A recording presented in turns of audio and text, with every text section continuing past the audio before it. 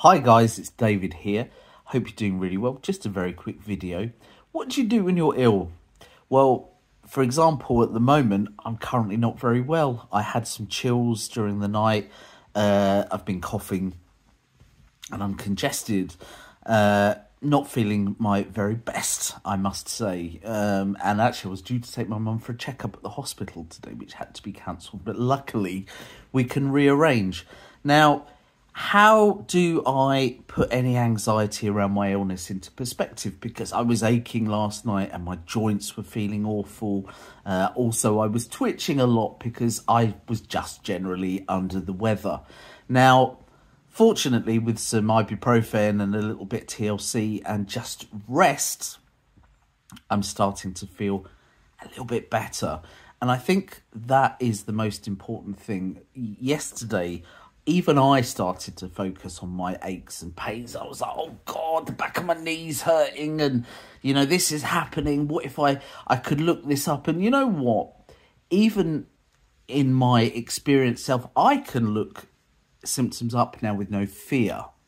But I can tell you now, when I did start to look up why I had, because I've had an ongoing pain at the back of my knee recently. Now I do train quite hard and I was like, oh, this is bugging me because it's been ongoing for a few weeks, and I was just feeling generally sorry for myself.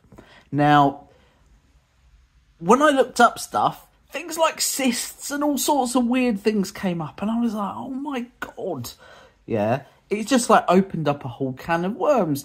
And luckily, with my brain, I'm able to now switch it off and go, you know what, forget it. What's the worst that can happen? I'll go to the doctors if I need to.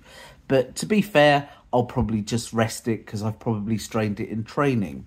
So sometimes, really, the moral of the story is when you've got a little bit of time on your hands, as they say, the devil make makes work for idle thumbs.